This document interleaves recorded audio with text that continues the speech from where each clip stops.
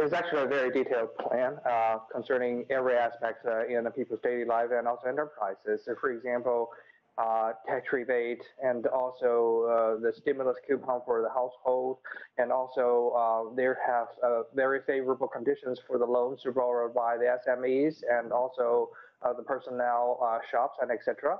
So I think this has already been very thorough. I think recently, if you take a look at the numbers in the hospitality industry, uh, tourism, you will find out the market has been overheating uh, recently.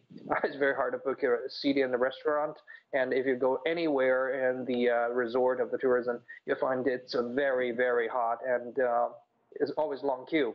So I have no doubt this already been seen very strong effect um, in this kind of sector. But uh, for the manufacturing, for the export, still they will be affected by many factors, especially outside of China. So we will still wait to see how it's going to act out uh, in the coming days.